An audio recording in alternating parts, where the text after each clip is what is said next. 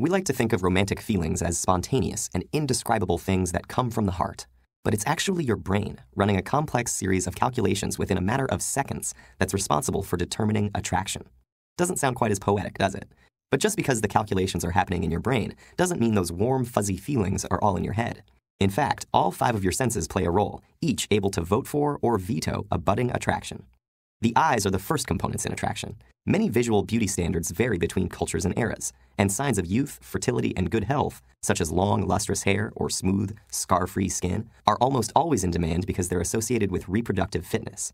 And when the eyes spot something they like, our instinct is to move closer so the other senses can investigate.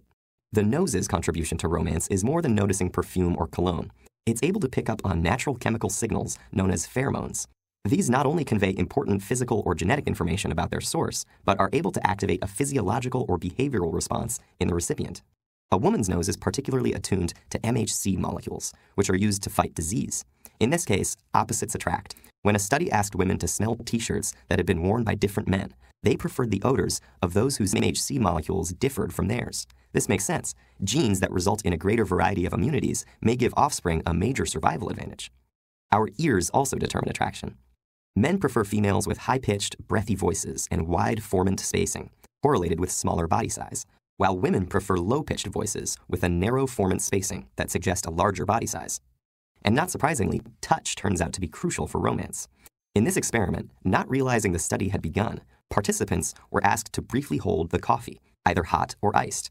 Later, the participants read a story about a hypothetical person and were asked to rate their personality.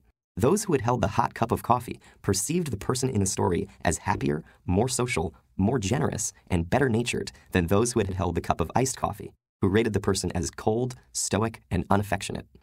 If a potential mate has managed to pass all these tests, there's still one more the infamous first kiss, a rich and complex exchange of tactile and chemical cues, such as the smell of one's breath and the taste of their mouth. This magical moment is so critical that a majority of men and women have reported losing their attraction to someone after a bad first kiss. Once attraction is confirmed, your bloodstream is flooded with norepinephrine, activating your fight or flight system.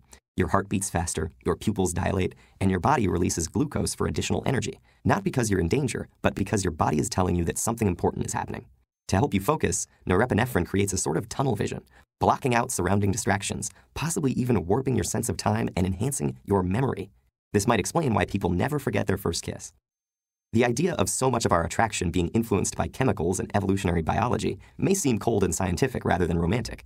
But the next time you see someone you like, try to appreciate how your entire body is playing matchmaker to decide if that beautiful stranger is right for you.